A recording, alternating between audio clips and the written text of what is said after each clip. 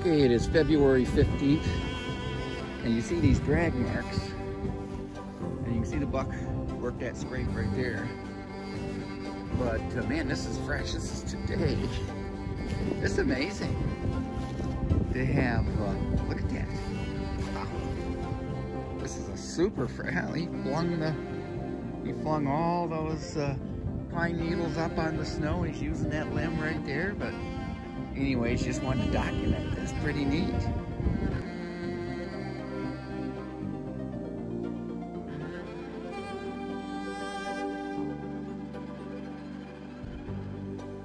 Okay, another video. Got a camera on the other side of the post, and you can see I got grapevines and fresh scrapes right here. So, man, that's the one, two, that's the third scrape I found.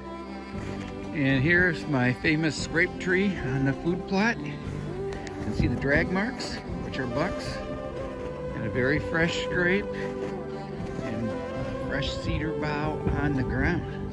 Pretty cool. Oh man, look at the rubs on that. Guys have been rubbing too. Man, look at, yeah, you can see the shavings on the ground. February 15th.